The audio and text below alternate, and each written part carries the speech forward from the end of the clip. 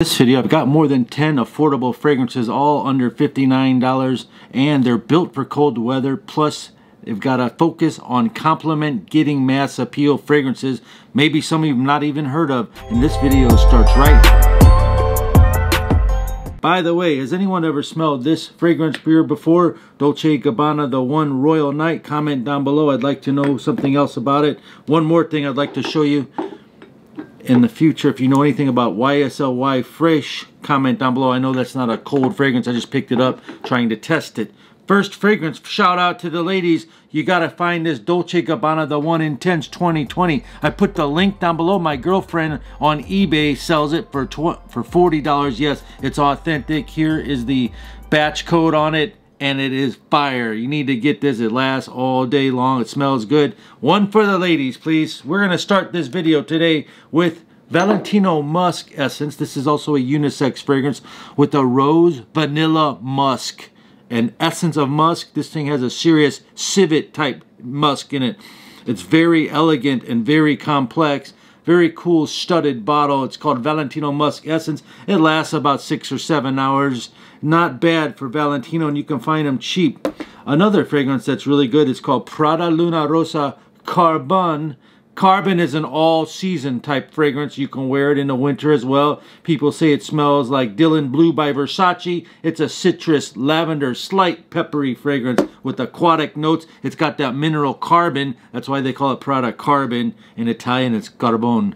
Next fragrance, if you like Tom Ford Black Orchid that costs 125 you must try this.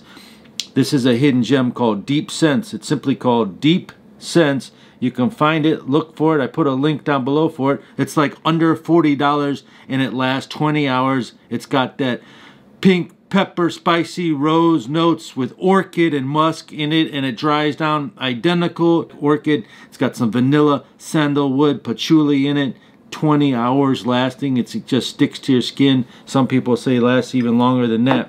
Have you ever heard a commercial? Be a pepper, drink Dr. Pepper. Well, anyway, this is Prada Luna Rossa Black. It's got a pepper note in it. It's like a floral peppered scent. Smells really good, really clean, and cuts through cold weather like crazy. And it makes ladies drop to their knees. One rapper called it WAP. Look that word up. It's R-rated. Next you have Sauvage Eau de Toilette, a fragrance that can get you compliments while standing in line at a fast food restaurant from 20 people away, even with social distancing. This thing will cut through a mask. It's called Dior Sauvage. The smaller bottles, or you can find tester bottles right under $60, but basically you'll have to find a two ounce bottle to get it under $59, or simply find this fragrance. It's called Modest Une. It's exact clone of that lasts just as long, projects just as well, even has a just a touch more spice to it than that. Coming up in this video, we've got titles from Giorgio Armani, Prada, Hugo Boss, even Valentino. A couple hidden gems, a couple similar scents cheaper, something for women, something for everyone. All the titles are $59 or less. This is called Spice Bomb. Cinnamon, saffron, super strong projection. Two to three sprays is all you need highly complimented, longevity out of this world. This is great for date night, great for getting compliments. It's an amazing fragrance. This was a five ounce bottle for like $90. Somehow I got it. Then they have four ounces. It's just at the right price level that you want. Maybe even a two ounce, I think it was, just under $59. Now this is regular Spice Bomb Eau de Toilette. They have other Spice Bombs that are even more expensive. So this is very good for this list. Have you ever known next on the list is a projection monster with very good longevity. It's by Giorgio Armani and it's sitting right in front of me. It's called Profumo.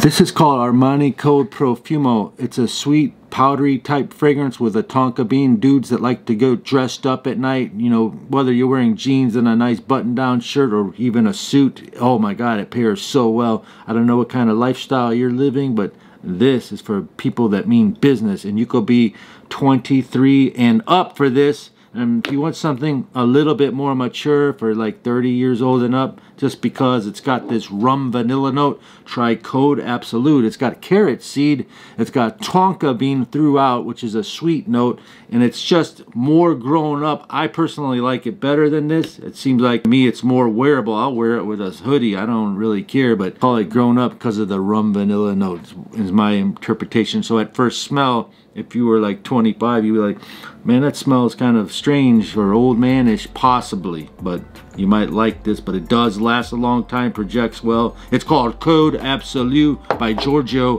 Armani. It's got an apple note throughout the whole thing too. It's fire, really.